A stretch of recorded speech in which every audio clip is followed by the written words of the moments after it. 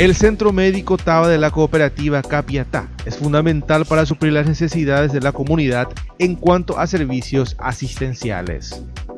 Si nosotros podemos contribuir a que el socio o no socio de la cooperativa tenga salud, eso es lo más importante.